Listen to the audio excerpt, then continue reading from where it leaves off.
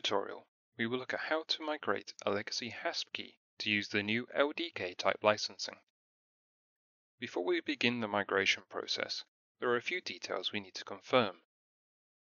The first of these are that there aren't any firewalls, whether that be the built-in Windows firewall or a third-party firewall preventing outbound communication on port 8081, which is used by the migration tool.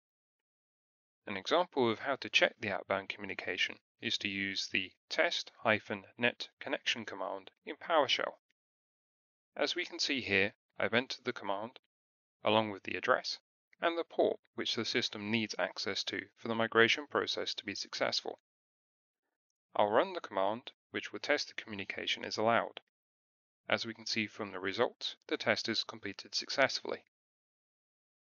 The second thing that we need to check is that the hasp key we have hasn't already been migrated.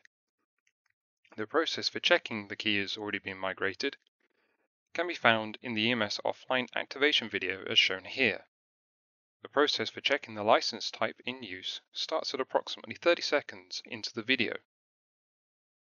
Whilst confirming that the hasp key hasn't already been migrated, we can also confirm that the licenses on the key are still valid, or that we have licenses remaining, both of which are necessary for the migration to be completed successfully.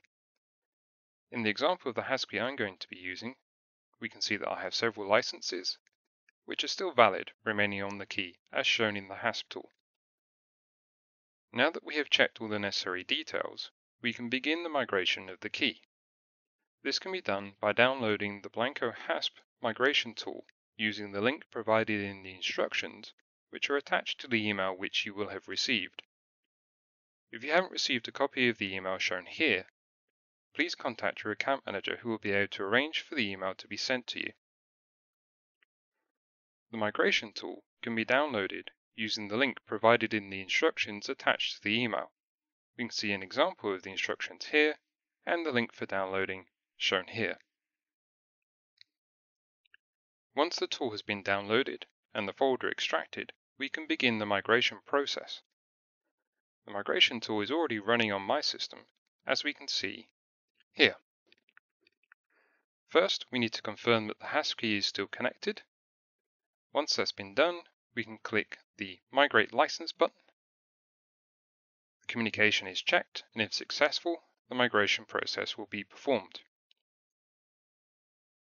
Once the migration has been completed successfully, we will see a message as shown here, confirming that the process was successful.